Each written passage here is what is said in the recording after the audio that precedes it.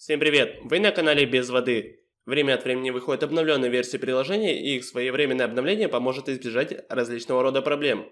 Для корректного использования программы ее необходимо обновить. Итак, чтобы обновить приложение Сбербанка, необходимо войти в Play Market. Далее откройте меню, нажав на три полоски в левом верхнем углу. Из пункта меню выберите раздел «Мои приложения и игры». Вы сразу попадаете на вкладку обновления, здесь необходимо немного подождать, чтобы ваши приложения прогрузились. Затем из списка найдите приложение Сбербанк онлайн. Нажав на стрелочку, можно прочитать информацию об обновлении. Для обновления программы нажмите на кнопку «Обновить» рядом с приложением.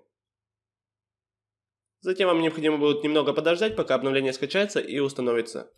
По завершению вы можете продолжить пользоваться актуальной версией Сбербанка, а на этом все. Если у вас остались вопросы, то пишите их в комментарии или в телеграм-канале. А также, если данное видео было вам полезно, то поставьте лайк и подпишитесь на канал. Всем пока!